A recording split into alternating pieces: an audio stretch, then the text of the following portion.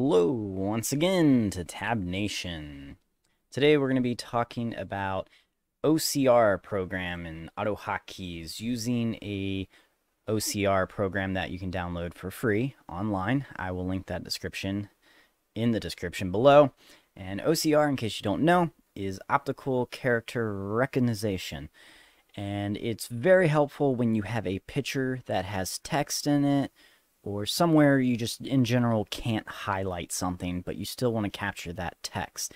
It's going to read that file for you, find it, put it in the clipboard, and then display it into AutoHotkey to use it for whatever we need.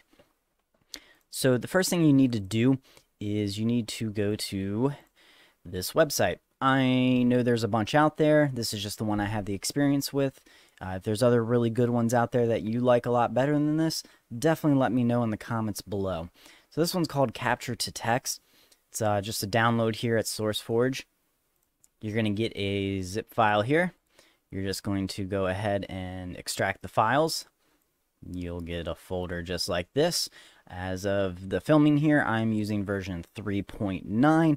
I'm pretty sure there's some new versions out, but I haven't had really a need to upgrade. I'm happy with just this version.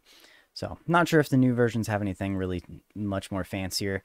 Uh, also, if you are not trying to do English words, this supports over like 90 plus languages, so it's very diverse, uh, which is great. So you can use this program just off the bat, but if we want an easy way to put it into AutoHotkeys, here's how we're going to do it. So let's take a look at the code and make sure you push that subscribe button because I am doing about two to three videos every week having to do with pretty much anything you can imagine with automation. So with the code here, what we got going on, I'm going to press F1 like I always do. And we got a bunch going on here. I'm not really going to go too much into detail on this stuff. Uh, just because I've done a lot of other videos explaining stuff like the GUIs that are in here and whatnot and DLL calls. But the first thing we are going to really want to do here is uh, it's going to get selection coordinates that's what you'll see here in a little bit when I push F1 as it's going to gray out my screen a little bit so you know it's activated. I'm then going to use my mouse to highlight the area to get the coordinates of where I want to take that screenshot basically. Run wait. We're going to run that program that I just told you about, the Capture2Text. This is where you might need to edit some stuff in the code. This is the location of where I have it. Uh, I just have it there on my desktop. Obviously, if you put it somewhere else, like your documents, you're going to need to change this.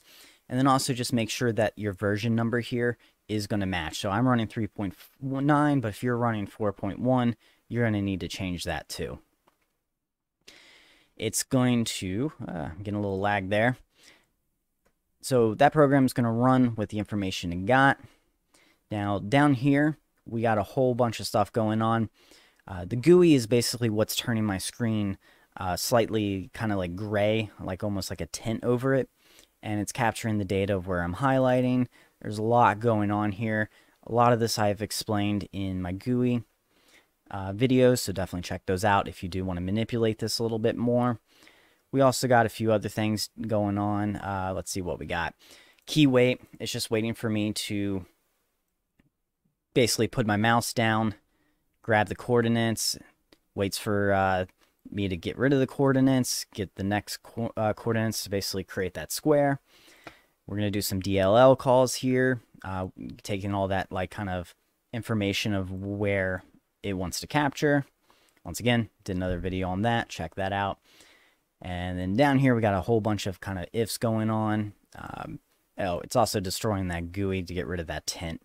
So a lot of like uh, just kind of things going on here with calculating the coordinates to send to the capture to text program. And the last thing it's going to do, which I know it's not at the bottom of the script, it's up at the top. It's just kind of how the order of stuff goes in here because it's jumping down and then jumping back up. It's then going to display the message box with the clipboard information, which is where the Capture2Text is putting the response back. Obviously, then you can change this section of code to put the clipboard information into a variable and then do whatever you need with that variable. So let's go ahead and try this out. Oh, where did I put that code? There it is. So let's go ahead and run that.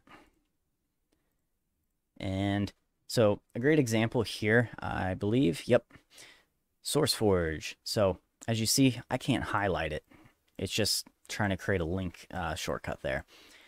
So I want to capture that text. I'm going to push F1.